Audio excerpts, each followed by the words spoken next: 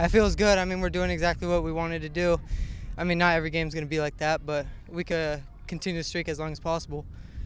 Does it mean anything to you or to this club that you've won seven straight going back to last year, or is it just, hey, we got to play again this week? Uh, I mean, yeah, it means a lot, but our coaches always say one to oh zero every week. Just restart and keep getting the dub. So that's what matters to us.